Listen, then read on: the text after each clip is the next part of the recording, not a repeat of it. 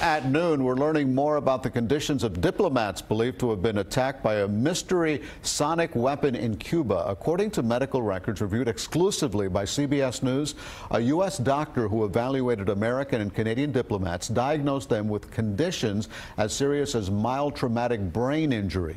The diplomats who worked in Havana had complained about hearing loss, nausea, headaches, and balance issues. U.S. officials believe a sophisticated sonic weapon that humans cannot hear was deployed either inside or outside the homes of American and Canadian diplomats serving in Havana.